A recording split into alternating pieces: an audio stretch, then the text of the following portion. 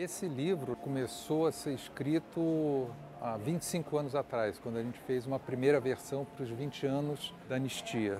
E a gente quer principalmente alertar os jovens né, que a democracia, o Estado de Direito, precisa ser conservado. E um livro que seria para marcar uma coisa do passado, na verdade, ele agora está alertando uma coisa presente. A gente teve uma tentativa de golpe que mostra o quão frágil a democracia é. Muito mais da metade da população brasileira não tinha nascido. Portanto, é, quem foi testemunha de alguma fase é, da ditadura precisa lembrar, precisa falar. Recentemente disseram, mas para que remoer o passado? É o seguinte, a gente fala do passado para construir o futuro. Esse novo trabalho é uma continuidade, abrindo sempre novos caminhos para que nada venha mais emperrar, dificultar, criar catabis no caminho da democracia. É válido a gente sempre estar tá falando, dizendo o que, que realmente aconteceu, seja nas escolas, para os jovens, para as novas gerações, para que isso nunca mais se repita. Então, um livro como esse é muito importante.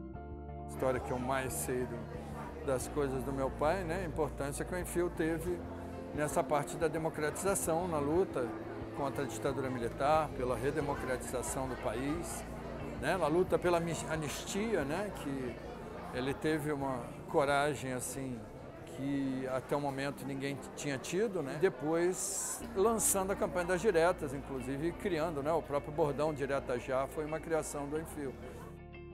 O Estado brasileiro não fez a tarefa de casa, ou seja, responsabilizar aqueles que deveriam ser responsabilizados. E ao mesmo tempo a memória, ela, ela ajuda nesse processo de conhecimento sobre o que aconteceu no país e ao mesmo tempo ajuda é, nesse processo também de responsabilização.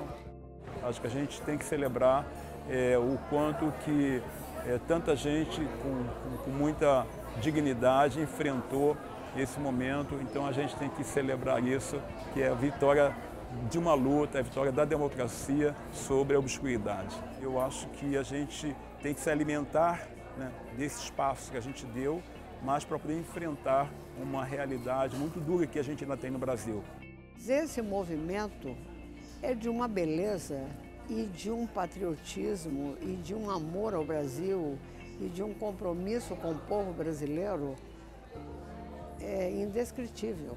E nós aqui estamos comemorando né, os nossos encontros, a despeito de todas as coisas, e a nossa luta, na verdade, né, que é uma coisa permanente.